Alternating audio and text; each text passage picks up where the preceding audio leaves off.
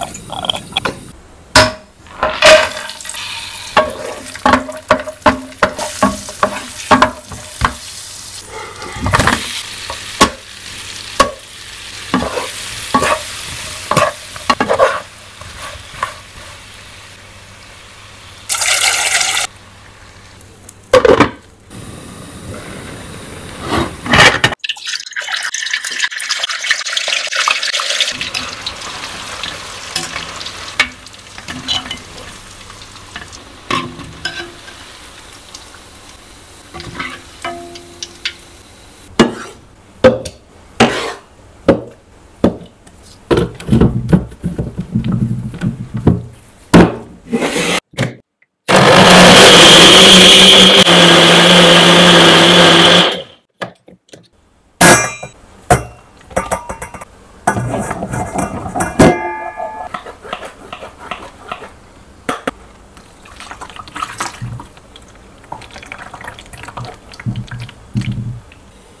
you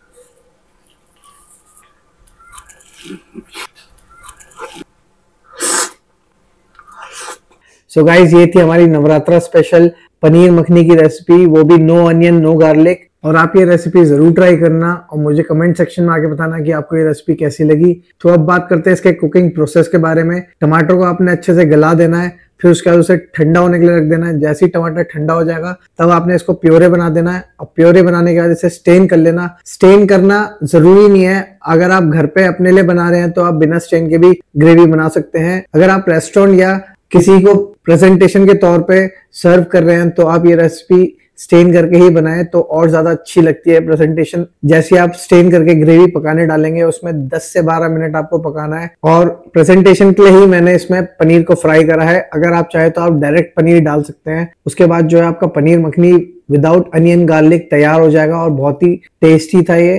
thank you for watching